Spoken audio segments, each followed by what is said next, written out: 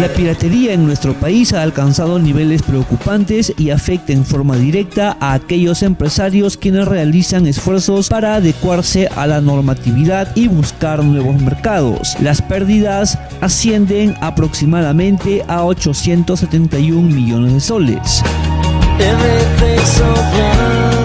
El último informe del Ministerio de la Producción establece que la recaudación ha sido afectada en más de 6 mil millones, dejando 100 mil empleos debido a las mafias en el contrabando que ahora invaden las calles en todo el país. Cajamarca no es la excepción. A cada paso se puede apreciar en el centro histórico la venta de esta ilegal mercadería. ¿Qué hacen las instituciones para controlar todo esto? Desde este espacio, un llamado para que asuman su liderazgo y clausuren negocios informales que hacen daño al empresario legal.